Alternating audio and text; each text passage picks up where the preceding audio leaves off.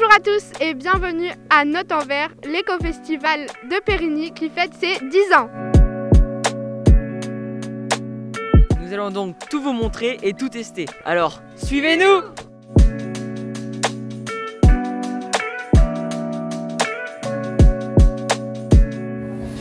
Ça tourne. Plan 2, prise 1, interview Marina. Action. Bonjour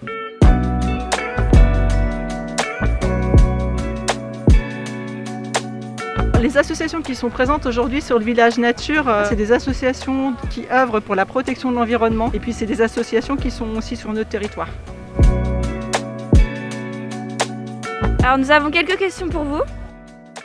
Comment faites-vous pour préserver l'environnement?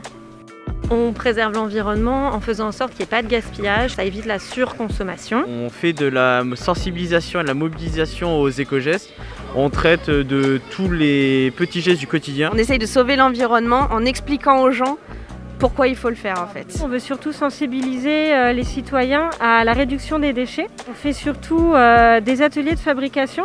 Donc on leur apprend par exemple à fabriquer euh, leur lessive, leur dentifrice, etc. Tous les mercredis, on a un club nature. On met des choses en place, nichoirs, des mangeoires sur l'hiver, des abreuvoirs dans le bois, pour aider les animaux un peu qui vivent sur le centre.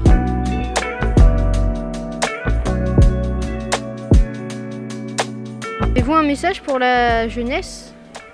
Continuer euh, la lutte pour la réduction des déchets. Trouver d'autres solutions pour euh, vivre ensemble, ne pas gaspiller les, les denrées alimentaires. Il faut rester positif et avoir de l'espoir en fait. On peut tous agir à notre échelle, donc euh, agissez. Faites tous partie d'un ensemble, allez au bout de vos rêves et ce sera le, sera le meilleur qui arrivera pour vous. Voilà. Merci beaucoup.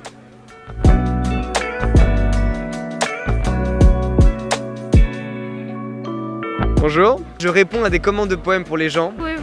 Lire les poèmes que vous avez inventés pour nous Gloire à Festiprève, festival de courts-métrages qui honore la jeunesse et ses rêves, la prévention comme fort message, des reportages qui parlent d'égalité, de citoyenneté pour les ados, Festiprève comme une ambition de liberté, Festiprève comme un goût de plus beau. Il y a des groupes, des collectifs qui s'engagent et c'est festif.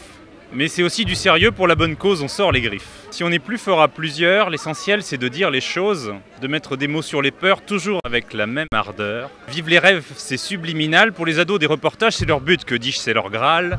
Faire exploser les cages, la puissance des images, je te dis ce qui est utile, l'importance du message.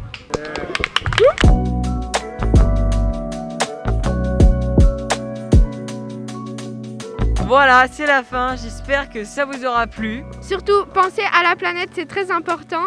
À l'année prochaine